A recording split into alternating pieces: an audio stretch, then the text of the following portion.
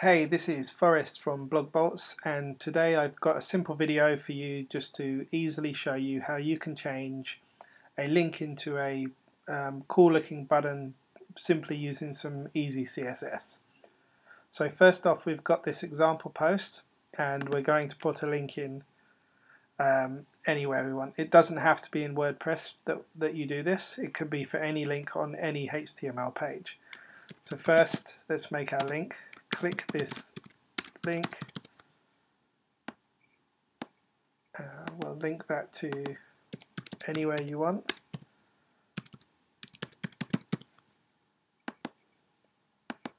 Okay, so now we have a link here. Um, the next thing we want to do is give this individual link a class. So we'll go to our text view and after the A you can type in the word class and name it whatever you want. We're going to call it uh, button underscore link underscore red, just as an example. So make sure you copy that class. Go back to the visual, you see it still looks the same. I'm saving the draft and we're going to have a look at this post in preview once that's saved. Okay, so just click on preview.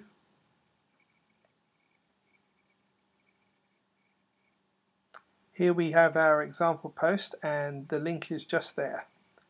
Um, I'm using a plugin called Web Developer.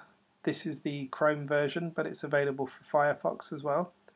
So I'm going to click um, just here on the icon and when it loads up, I will go to CSS, edit CSS. And this enables me to live edit the CSS so I can see what the visual looks like.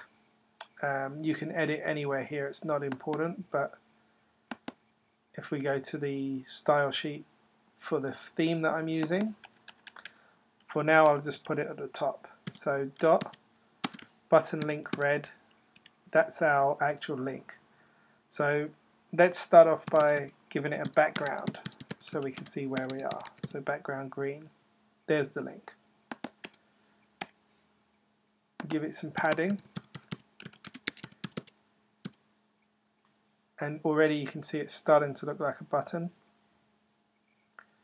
Um, in this case I don't have any text decoration on this link but I would take text decoration off as well which would remove an underline so set that to none and maybe set the color to white, the font weight to bold. We're just putting a bunch of styles here to make it look more like a button. Um, maybe give it a border radius to round the edges, 5 pixels, see how that looks. It looks pretty good maybe we'll make it more 10 pixels. Uh, maybe increase the font size to 30 pixels or whatever you want. We're getting a nice big button now. Um, let's increase the padding as well to 15. Okay, um, so if we wanted to give it slightly slightly more fancy board uh, background, maybe a gradient, then you can get CSS gradients very easily from colorzilla.com forward slash gradient dash editor. Sorry, hyphen editor. And they have a number of presets here, or you can play with it yourself and create your own gradient however you want. Um, for now, let's take a red preset, seeing as we've named our button red. Uh, we'll take the one with the gradient in the middle and you can simply copy this this code here which will be for it supports most browsers. It's a cross browser code. Uh, there is a, an ad additional um, stuff for IE9 but don't worry about that for now. And we'll replace this green background with our fancy code. So now we'll see we're really getting a nice button now. Um, maybe we'll even give it a, a border say 5px solid border in black 000 and maybe a box shadow. 1px 1px 1px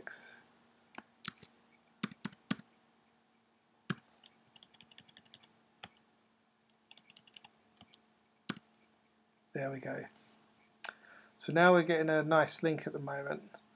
Uh, there's a problem on the hover so you'll want to mess with the hover state as well.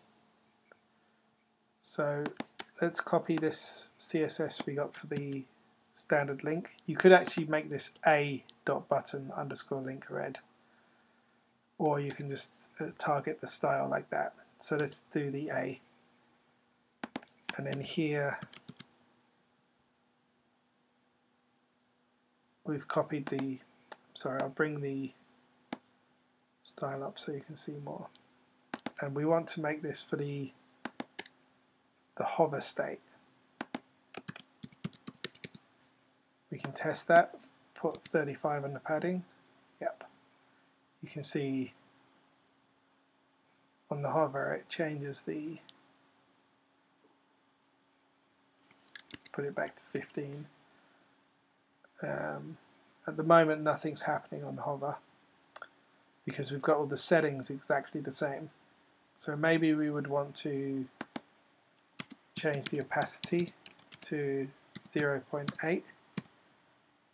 Now on hover the link lightens up a bit. You could even change the background, so let's select another gradient, say a black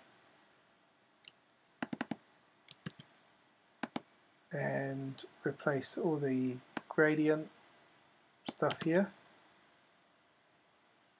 Now we're talking.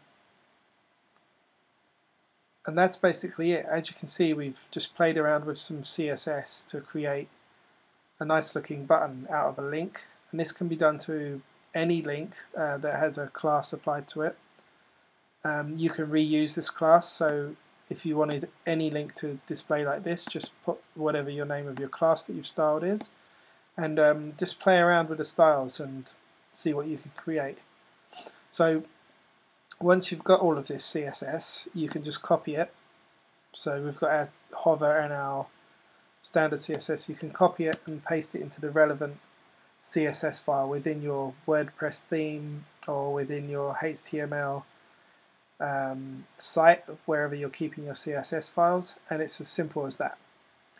So if you've got any questions just leave a comment uh, either underneath the post for this video or underneath the video itself on YouTube. If you've enjoyed the, um, the video or, or anything then you know let us know by giving us a like and it would be awesome if you could subscribe to the channel too. So thanks very much and I hope this has been helpful.